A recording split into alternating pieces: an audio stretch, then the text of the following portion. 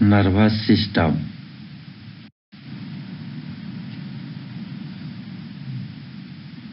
The system present in the body which control and regulate stimulation and reaction is called nervous system.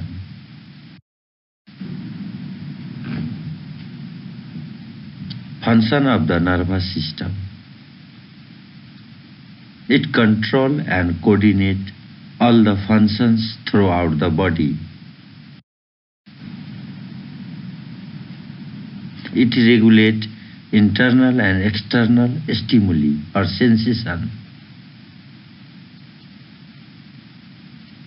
It helps to show responses or reaction in the body.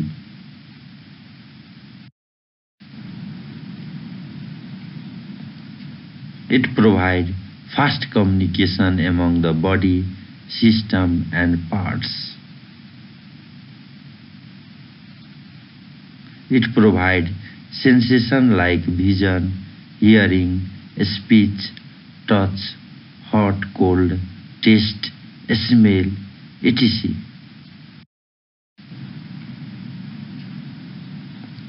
It maintains posture and movement of the muscles. It help in movement of voluntary and involuntary muscles present in the body. It regulate functions of exocrine and endocrine glands.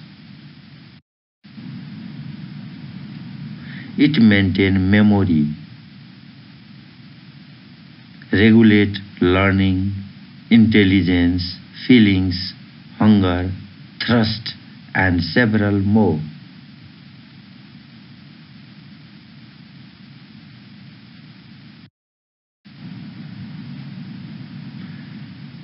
It is of mainly three types. Central Nervous System, CNS. Peripheral Nervous System, PNS. And Autonomic Nervous System, ANS.